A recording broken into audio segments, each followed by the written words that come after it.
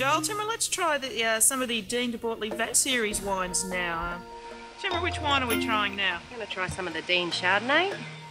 This is a great range of wines, the Deen De Bortoli Vat Series. It's a way of honouring Deen's uh, legacy to the company and to the wine industry in general. He, he had a lot to offer the wine industry. It's part of a range that, um, you know, really talks about uh, fruit variety rather than regionality, so it's really trying to express those, you know, wonderful Chardonnay characters.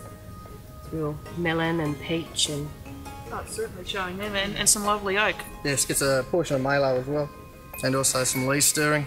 And what's that add to what's that add to the wine? Do you think? Ah, plenty of texture, creaminess, and uh, length. you could pick this up and, and say, oh my god, that's a Chardonnay. Like it's not something you would confuse very easily.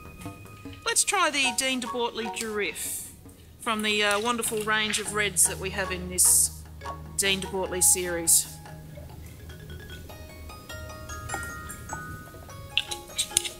This variety is also known as Petite Syrah in, in many countries around the world as well.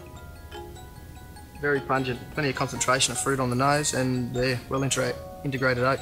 Yeah, I mean, with this series, I mean, the winemaker's actually going out and selecting the fruit personally for each of these ranges. So we're, we're really trying to get the, you know, the individual styles that we're looking for in this Durif.